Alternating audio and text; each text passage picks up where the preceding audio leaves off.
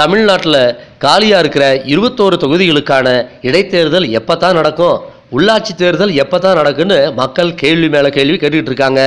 இந்த நிலையில் மக்களவை தேர்தலோட இருபத்தோரு தொகுதிகளுக்கான இடைத்தேர்தலை நடத்த வேண்டான்னு தன்னோட தூதுவர்கள் மூலமாக பிரதமர் நரேந்திர மோடிக்கு தமிழ்நாடு முதலமைச்சர் எடப்பாடி பழனிசாமி வேண்டுகோள் விடுத்திருக்கிறதா? இப்போ ஒரு புது தகவல் வெளியாயிருக்கு. முதல்வர் எடப்பாடி பழனிசாமிக்கு எதிராக செயல்பட்டதனால பதினெட்டு எம்எல்ஏக்களை சபாநாயகர் தகுதி நீக்கம் செஞ்சு உத்தரவிட்டார்.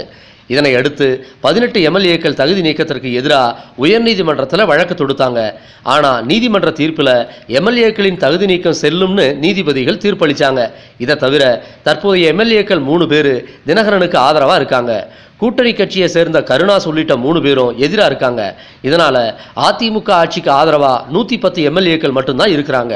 எதிர்க்கட்சியில் திமுக கூட்டணியில் தொண்ணூற்றி ஏழு எம்எல்ஏக்கள் டிடிவி மற்றும் ஆதரவு என நாலு பேர் கூட்டணியை சேர்ந்த தனியரசு கருணாசு தமிமின் அன்சாரி இப்படின்னு நூற்றி நாலு பேர் இருக்காங்க. இப்போ ஆளுங்கட்சிக்கு எதிரான மனநிலையில தான் தமிழக மக்கள் இருக்கிறாங்களாம். அதுலேயும் இருபத்தோரு தொகுதியிலையும் அதிமுக தோத்துருச்சுன்னா எதிர்க்கட்சிகளின் பலம் நூற்றி இருபத்தி அஞ்சா உயர்ந்துரும். ஆட்சி கவிழ்ந்துரும். இதனால இடைத்தேர்தல் நடத்தாம முடிஞ்ச வரைக்கும் ஆட்சியை இழுத்துக்கிட்டு போகணும் அப்படின்னு அதிமுக தலைமை முடிவு செஞ்சிருக்கான். இதுக்காக பதவி இழந்த பதினெட்டு எம்எல்ஏக்கள் நீதிமன்றம் செல்ல காலக்கெடு இருக்கிறதுனால தேர்தல் நடத்தலைன்னு தேர்தல் ஆணையம் கூறுச்சு.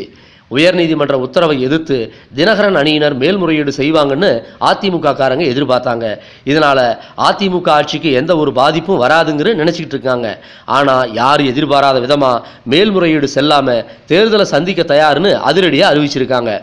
இப்போ அந்த காலக்கெடுவும் முடிஞ்சிருச்சு. இந்த நிலையில் தேர்தல் ஆணையமும் தேர்தல் நடத்த தயார்னு அறிவிச்சிருக்கு. இதனால் இடைத்தேர்தலை தள்ளி வைக்கணும்னு முதலமைச்சர் எடப்பாடி தனக்கு தெரிஞ்ச தூதுவர்கள் மூலமாக பிரதமர் மோடிக்கு வேண்டுகோள் விடுத்திருக்கிறதா கூறப்படுது. இடைத்தேர்தல் நடத்தினா ஆட்சி மாற்றம் உறுதின்னு கருதி அதிகாரிகள் நமக்கு மக்களவை தேர்தலில் ஒத்துழைக்க மாட்டாங்க. மக்களவை தேர்தலில் தோல்வி உறுதியாயிரும்.